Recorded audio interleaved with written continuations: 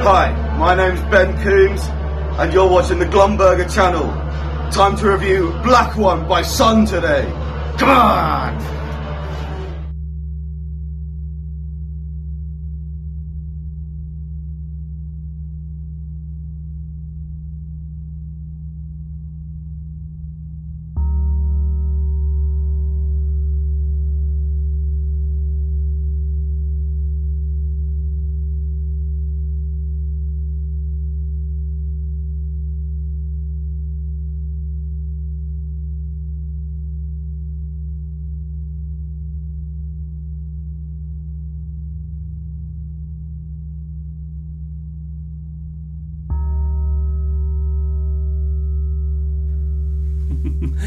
Hello there, and welcome to Weird Music on the Bl- Glumburger channel. Huge thanks to Ben for sorting out our introduction there. you know, this is the show where, you know, we look at weird and unusual albums of all sorts, taking you know, little dives into what they're all about, yeah? and so, yeah, as, as you now know, uh, we're looking at a band who's probably, you know, well overdue for inclusion on the show, considering that you know, the second episode of Weird Music was a dive into the wonderful world of Earth, right? um, and, you know, in consideration that, I find it, I, I'm very surprised with myself that it's taken this long to finally talk about Sunn, but alas, we got there in the end. Um, the other thing as well that, you know, I'm very surprised that this was the album I'm starting with, but this is one where all the thoughts just came out, you know. But I want to talk about a lot of different Sunn albums, but we'll get there, we'll get there. so, yeah, today I present, you know, one of Sunn's most ambitious and very eclectic records within their wonderful discography, the 2005 album Black One.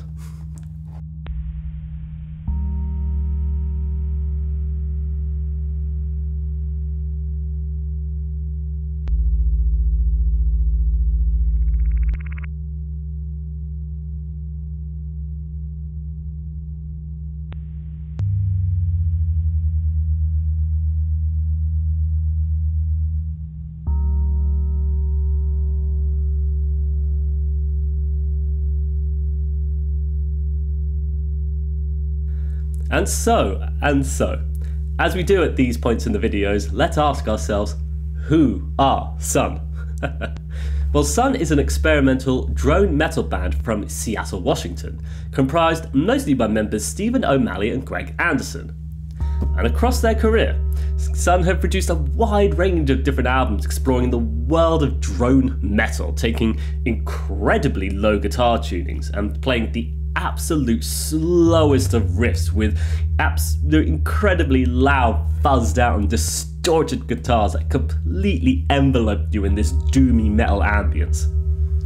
No, I feel like so much of what Sunn do is just, you know, further building upon the world established by Earth, you know, and of, you know, and of course, like it should be said, the band's been a huge influence on Stephen O'Malley and Greg Anderson, you know, with them know, even going as far to name a previous project of theirs, Teeth of the Lion's Rule the Divine, know, a name taken straight out of Earth 2's special low frequency version.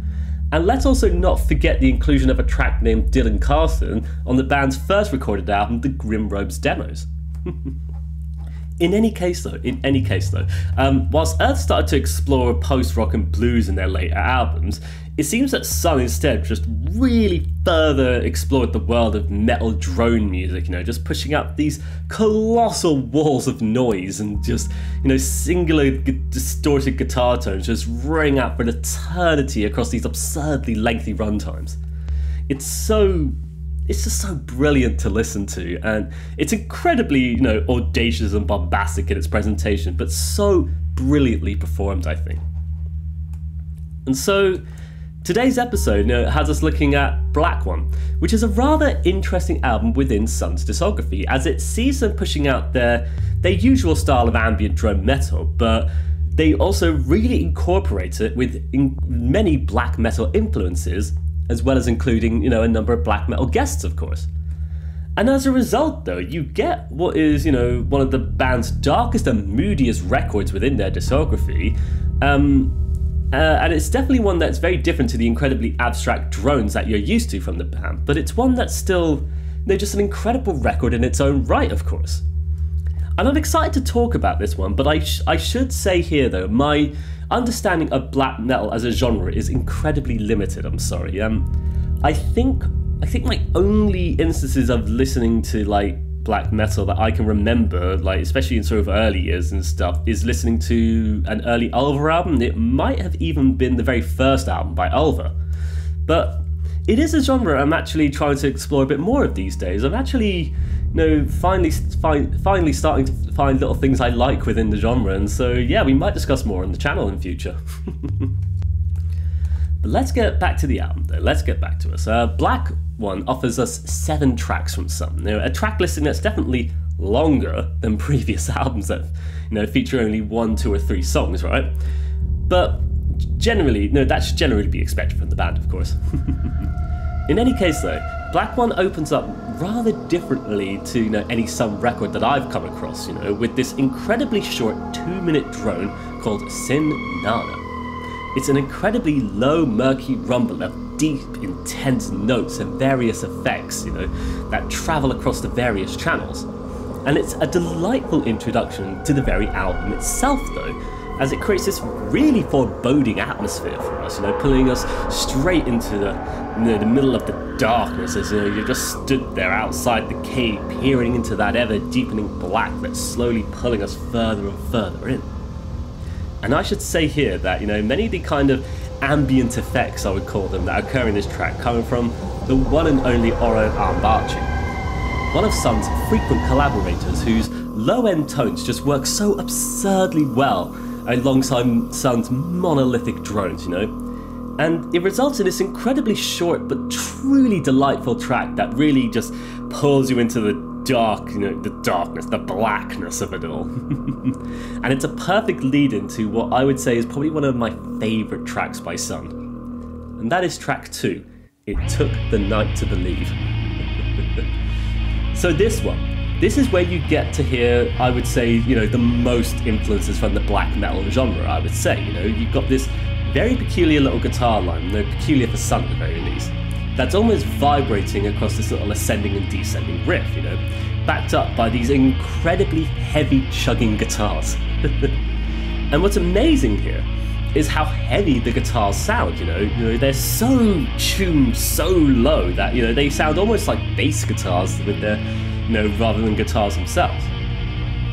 But there is no doubt in my mind, though, that one of the one of the main focal points of this of this track, though, is the incredibly intense guttural performance from uh, one Jeff Whitehead performing the vocals, uh, also known as Wrest, from the black metal project Leviathan.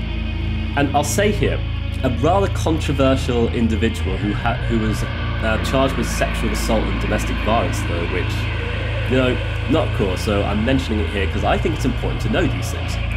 Um, maybe I'll get flack for that, but whatever, whatever.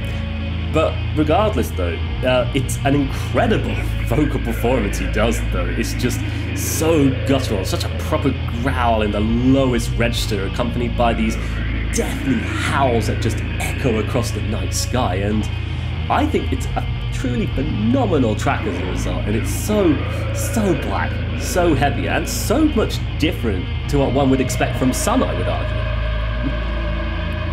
From here, though, from here, though, um, I would say the album starts to enter much more familiar territory for Sunn, you know, although they do so much experimentation within their own style, it's very interesting.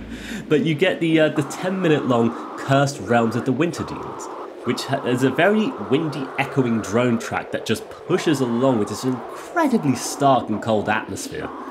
No, and it's wonderfully credited on the album as well.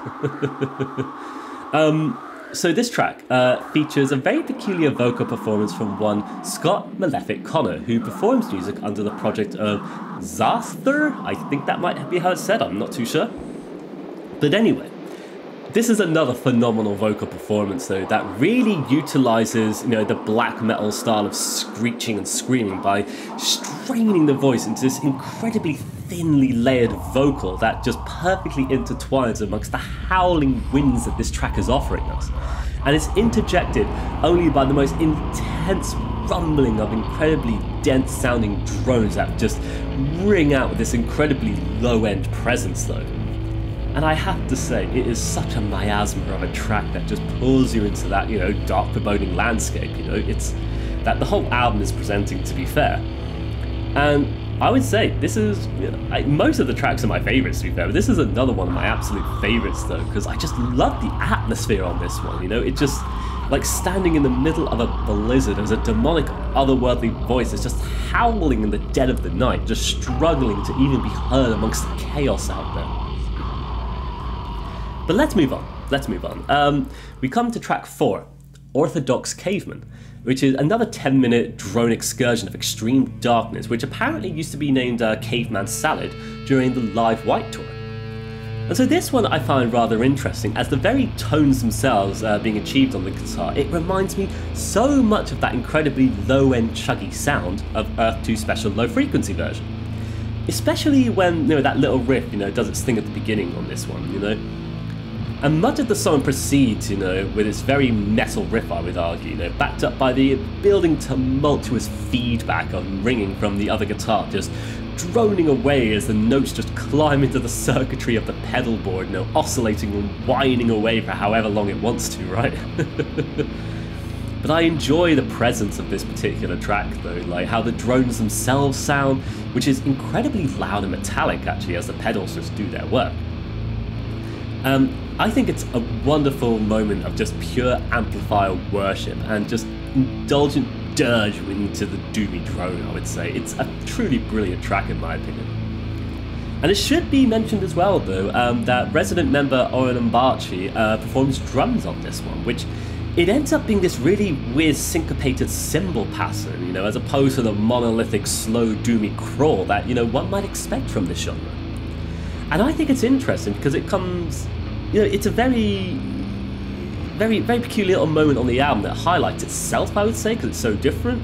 Um, and it seems to draw together a bit more sense between the combination of the black metal star and the drone metal star, but perhaps, no, I would argue maybe this one's paying tribute to the one and only Dylan Carlson, right? Maybe so, but pure speculation, pure speculation. anyway, anyway, from here, uh, we move on to the next track of Candlegoat and eight minute, uh, minutes of peculiar atmospheres as you get these you know, a peculiar little riff that's accompanied by the grinding gears of lo-fi distortion before the heavy electrics just overtake the entire proceedings, you know, with that quintessential doomy drone. And I love that, you know, how long that heavy, dense, heavy note occurs for. It's just swirling and swirling as you enter the dark realms, though. You know, and this one just feels like classic Sunn you know, for the most part. You know, there's absurdly dense drones that ring out forever and ever when, well, you know, with it become this incredibly hypnotizing experience that just lulls you with its almost overwhelming tones, right? That is until you get to the, you know, the incredibly dark and guttural vocal performance from Malefic once again. And you know, across the whole album, I really enjoy Malefic's vocal contributions, though, as his voice just has this really sparse, empty style to it, right? And it's just it just comes across as so ghostly, so foggy and peculiar, and yet it's such a perfect accompaniment to these really heavy, you know, drones that Sunn are offering. And I think know, it's a perfect blending of the heavy doom doom drone stylings that Sunn are known for, and they're contrasting it, you know, with the core concepts and ideas from the black metal genre, and they never clash in any way, I feel, on this album. It just all comes together so harm- harmoniously and creates this really unique yet wonderful listening to experience to us. Moving right along, moving right along, um, we arrive at Cry for the Weeper, which is 14 and a half minutes of roughly continuing dense drones, right? And I love the opening of this one though. Um, you're getting these incredibly low-end, you know, drones again. You know um, that I, would assume would be from Oren Ambarchi, and I'll discuss a bit more on why I think that on the next track though. Uh, why I think these these particular sounds are from him. But anyway, anyway. This one opens up so incredibly slowly, though, like like most of them, right? Uh, as you just get these rumbling drones accompanied by the creaking of the of one of the instruments that makes it sound like just the largest door slowly swinging open. but I love the atmosphere on this one. Like on so many of them as well, though. Like it's just so chilling to listen to, and it really takes its time to establish the entire setting and overall ambience. And, uh, and it does, of course, get to those heavy, dense electric drones, though, sounding so quintessentially like Sunn, But what I love is when the riff comes in. and, you know, you know, it's been playing on the other instruments up to this point. It's accompanied by this really peculiar swirling of notes in the background as it just proceeds, you know, and it makes the whole thing sound so incredibly intimidating, as though we're witnessing something truly otherworldly and purely existential. And I would argue this, but maybe those more familiar with the black metal genre can tell me if this is correct or incorrect.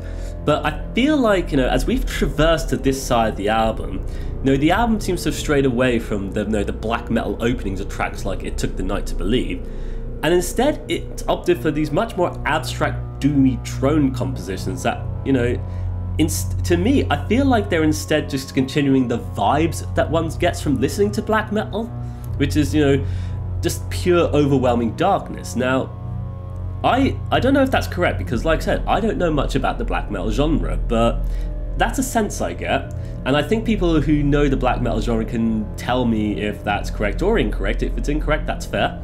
But yeah, I'm just it's just what came across to me. I just you know, I might be wrong, but it's you know, like I said, what I thought though. Um, like it's just the sense I get that you know it seems to be exploring the the notions of the black metal genre within the very framework of doom metal um, so yeah, just I'd like to know if that if, if if there's any credence to that. If not, then it is what it is.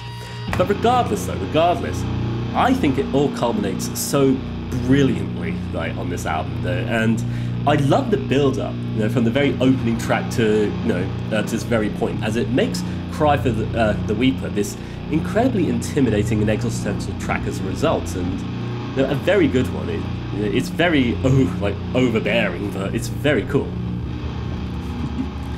And so, and so, we move on to the very final track of Black One. 16 minutes to close off the phenom- this, phenomenal album with this incredibly dark and foreboding track of Bathory Elsbeth. I think that's how it's spelled. I don't know. I might be wrong. Anyway, this is a track that has a lot of backstory to it, as well as being such a unique and phenomenal performance in its own right. There's going to be a whole bunch to discuss here. So, for starters, for starters, uh, the track was written and recorded as a tribute to one Thomas Bjor Forsberg, better known as Quorthon, band leader of the black metal project Bathory. And the band is seen as one of the pioneers of the black metal genre, apparently, as well as having created the subgenre of Viking metal. Don't really know what that is, but sounds pretty cool. Uh, this was due to them having many lyrics that focused on North, Norse mythology, apparently. But it was in 2004, though, that Forsberg was found deceased in his apartment in Stockholm at the age of 38, having passed away from a congen- congenital heart defect. And as a result, then, the name of this track, you know, is a direct tribute to, um, to the very band Bathory, as well as apparently a tribute to the Countess Elizabeth Bathory de Ecsed, uh, who inspired Bathory's name as a band, actually. And you know, I, I when I when I found out about you know uh, the Countess, basically, I did a bit of research into it, and there is some very interesting you know stories about Countess Bathory, who apparently was a Hungarian noblewoman, an alleged serial killer. who was accused of torturing and killing, you know, hundreds of girls and women between 19, uh, 1590 and 1610. Now, I don't know, I don't know why I'm actually laughing because it's actually fucking horrible to be fair, but no, maybe because the Countess, you know, it's very weird. But anyway, it's an incredibly dark and macabre story. But it's easy to see why this inspired Forsberg to name his project Bathory, though. You know, um, you know, uh, I, from what my understanding of black metal, so much of it is interested in the dark and the macabre and just the horrificness of human nature, perhaps. And so, naming your band after you know this you know nasty serial killer and noblewoman apparently makes sense. Makes sense. And so, the song itself, the song itself. Um, this is 16 minutes of incredibly unsettling atmospheric tension building as, you know, we open the track with these incredibly low end bells and gongs performed by the one and only Oren Ambarchi, producing this absolutely perfect opening that just feels so sinister and occult in its own right. And so I'll mention it here then, I'll mention it here. Um, no, uh, because these low end sounds are something uh, that Ambarchi produces, is something I truly enjoy. I'd like to mention it here that um, you know, it's something you hear a lot from Ambarchi, especially when it comes to his own solo records. Like this was um, my introduction to Oren Ambarchi was listening to uh, the album Grapes from the Estate, and then going on to listen to In the Pendulum's Embrace, which is one of my absolute favourite albums by Oren Ambarchi. And uh, especially on that latter album, there's so many of the same kind of sound effects that you hear on the very collaborations Ambarchi does with Sunn on Black One, essentially, and some of the other albums as well, you know. He just does this incredible low end sound, though, where it just drones and just goes boom, like stuff like that. And I love how it sounds because it just creates this wonderful atmosphere to listen to. Of course, though, of course, though. Um, the opening continues to push along, though, just ringing out with this, you know, the low end murmurings, for the bass guitars start to screech into the scene with this really phenomenal presence and incredible sustain. But it's the vocal performance from Malefic that really sets this track apart from, you know, anything on this album, I would say. Now, Malefic's performance, it opens up with this incredibly deep, wheezing breathing that has such a level of panic buried deep within it before he starts his incredibly hollow and empty sounding screeches into the void. And so, on the record, Malefic is not credited as a vocalist on this particular track, I mean, but actually credited as Calls from Beyond the Grave. And this is due to the fact that Malefic, a sufferer of claustrophobia, was nailed shut inside a coffin for his vocal tape. And knowing this, the performance literally sends shivers down my spine every single time I hear it. Just when I hear him doing the breathing at the very beginning, you know, before he even starts the singing, if you want to call it that, like you can really hear the panic, the tension, and the absolute fear in his voice from being confined in such a tiny, horrific space. And man, I think it's one of the most unique vocal performances I've ever come across in anything, basically. And without a doubt, truly a highlight on this album. And I think it's truly perfect as well that the album has built up to this really final dark performance that's just so black in every respect of the word, right? You know? And I love the culmination of every element that's gone into this track the vocal performance, the low end sustained bass guitars just ringing out those heavy, heavy, powerful drones, and the mixture of various instruments just colliding together. And it just creates this you know, phenomenal existential performance that truly places us six feet beneath the very ground itself into the tiny confines of the coffin as we contemplate our non-existence. So how are we going to get this sound? Are we going to, how we can put him in a closet, in a small space? Like, come on, got to put him in a coffin, you know, see what kind of vocal uh, performance we can get and also what kind of tone we can get out of this. My goodness.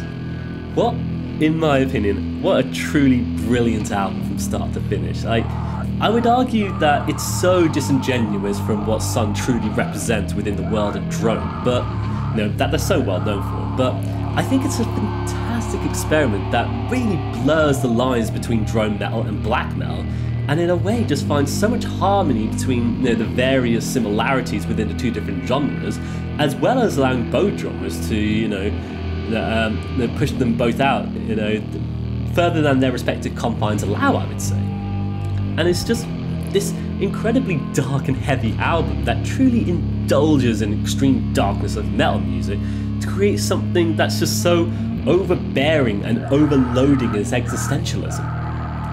And there's something so harsh and so bleak and yet so satisfying and indulgent about this kind of album that makes it truly stand out amongst Sunn's discography that I would say it's definitely amongst one of their strongest releases on you know, amongst the many that they have, though, you know, I mean, there's truly so many when it comes to Sunn, and hence why I wanted to start here with with Sun because I I just love this album. and so and so, I think we've come to the end of our episode of Weird Music today. Then, you know, I'm really glad to talk about one of my favourite bands out there. You know, the Brilliant Sunn. You know, they not who have not only pushed out this incredible discography of dark, foreboding drone metal music, but have also really experimented within the very genre itself to just push out, you know, new ideas and concepts within the very framework the genre is offering.